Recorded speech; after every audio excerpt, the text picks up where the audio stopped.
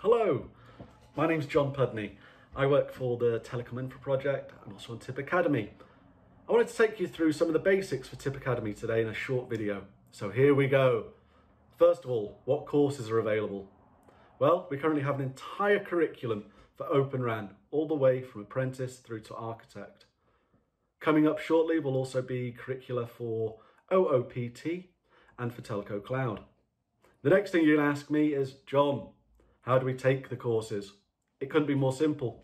We have a learning management system. Your company has a log on and the modules sit there for you to complete in your own time over the period that you have access to the courses.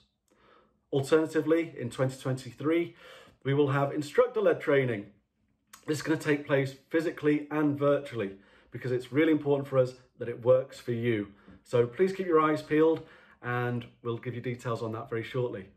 Finally, should you be a talent development lead, an HR lead, a learning lead, to speak to us about your own learning management system and the tools that you use, and I'm sure we can find a solution because our job is to make sure the best quality training comes out into the market.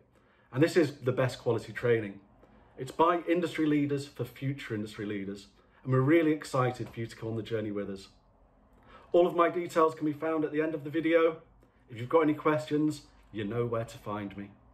Hopefully speak to you very soon, and in the meantime, happy learning.